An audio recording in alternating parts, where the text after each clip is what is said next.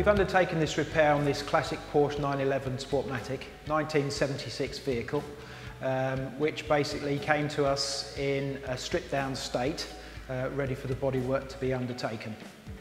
Um, we had a specialist team of three guys that worked on the vehicle, one panel beater, uh, one prepper and one painter. Um, between the guys, very experienced in what they do um, and have spent probably in excess of 300 hours actually repairing this vehicle. Um, that's through panel stage into prime stage um, and then it ultimately through to its colour coat um, ready for it to be refitted. So uh, an extensive amount of time.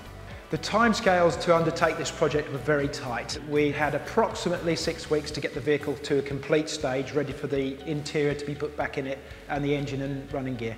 So it was very, very tight timescales and the guys worked long hours uh, and extended hours to actually get the project complete. Well, the restoration project was taken because the owner approached us with regards to taking this vehicle. He identified and bought this vehicle and wanted to restore it to what it was in its, in its previous life. TCW Group's work on the Porsche has been fantastic. The craftsmanship, workmanship, finish, attention to detail, outstanding.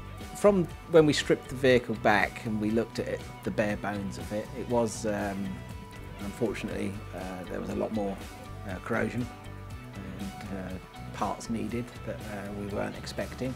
So there's been a lot more involved. Um, the, the, guys down there, I've been down, I've met them all and chatted through and had regular updates with them. And the craftsmanship and uh, workmanship that's gone into it has been fantastic, very satisfying.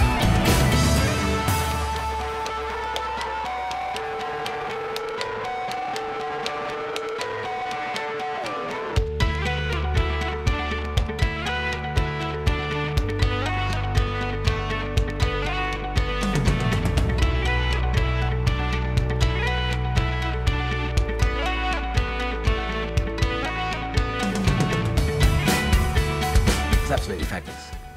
Um, I couldn't say anything else really.